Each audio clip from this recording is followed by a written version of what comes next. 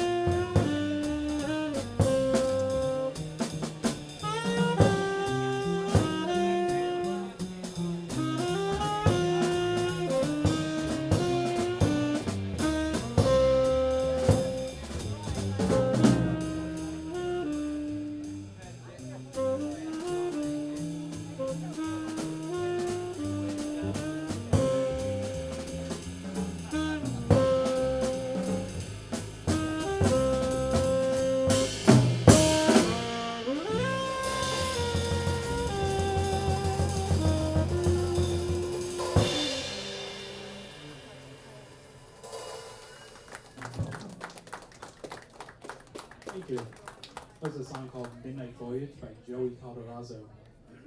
Ross Antonich on the drums. Siheng Teng on the bass. My name's Jeff Fabis. We're gonna do a song by Billy Strayhorn. It's the last one he ever wrote.